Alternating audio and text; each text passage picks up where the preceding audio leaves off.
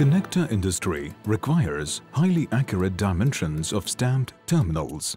In the past, quality inspection was done using profile projectors to measure a small sample of terminals.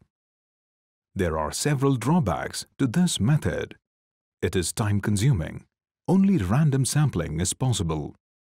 It is dependent on individual handling. There is no history and trend data.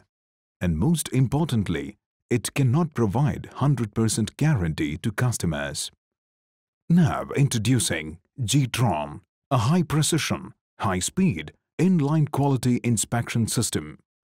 It does high-speed measurement at the rate of 1200 terminals per minute with accuracy of 10 microns and repeatability of less than 3 microns. Various custom-specific critical dimensions are measured on each terminal. A user-friendly GUI enables the authorized supervisor to edit the limits. It provides reports of CP and CPK values for each reel. It is provided with stepper motor-controlled guides that automatically adjust the width to match the terminal length. A telecentric lens and collimated light ensure that error due to vibrations of the terminals are nullified. Terminals coming directly from stamping are fed manually into the vision system.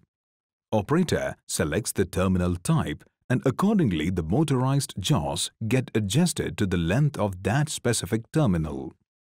Triggering is done based on the interruption of passing carriage holes.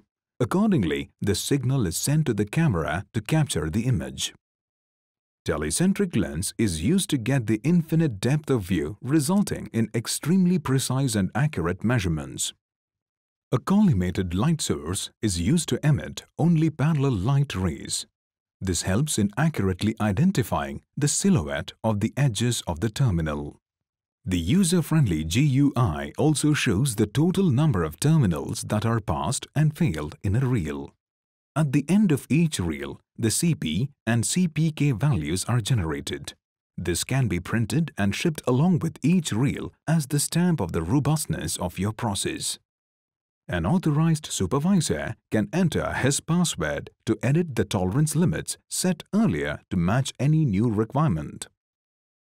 Whenever any measurement in a terminal is outside the set tolerance limits, a signal is sent to the stamping machine to stop stamping and the buzzer goes off to alert the operator.